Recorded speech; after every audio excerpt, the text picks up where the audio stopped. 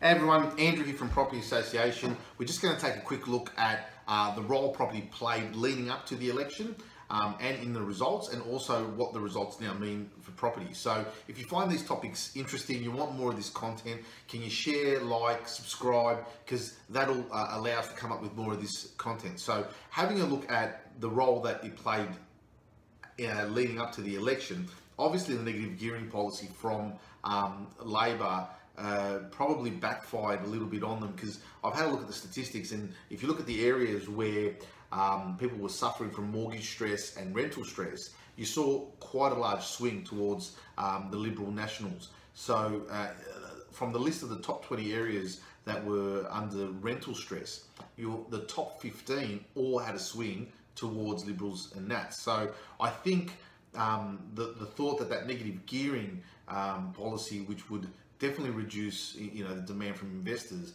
which would therefore reduce rental properties in the long term and, and increase rents, was definitely on these people's minds. Also, I think you, have got people that had that mortgage stress, people that paid you know 850 for a house borrowed 700 it's now worth 750 and they're thinking well if values are going to drop even more because of this policy well where am i going to be left at am i going to be left with a loan that's larger than what my, my assets worth. So I really think um, the ALP got it wrong in that regard. Um, Morrison did have um, you know, his first home buy guarantee that is, is thrown in there, but I really think it's quite irrelevant. It's not going to actually, um, you know, trigger for, for many people due to the criteria. So uh, I think the, the property played a big part.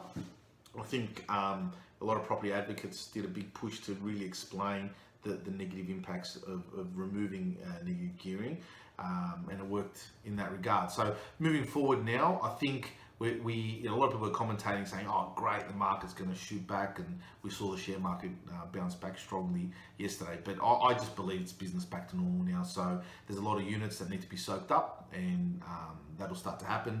And investors will start to creep back in now with more confidence. I think we can say that the, the negative gearing argument's probably dead for another 20 years. I don't think anyone's going to come close to touching it again. It wouldn't make any sense. So, um, and, and it's not the answer. If you want to provide affordable housing, dropping prices from 800,000 to 700,000 really doesn't do that much. When you need a 20% deposit, the difference then is between 160,000 deposit and 140,000 deposit, you know, plus your stamp duty. So the real difference there is 20,000. I don't think if you can save 140, you can save 160. I think the real issue is helping people save, giving incentives for people to save to be able to build up that, that deposit, maybe keep the banks a little bit in check so we don't have credit going out of control uh, like it did, and that might help quite a bit. So I, I feel that um, the good news for property is that based on the election result, we're going to go back to businesses normal, which will probably still see us in the next six to nine months um, hurting a little bit because there is that large supply,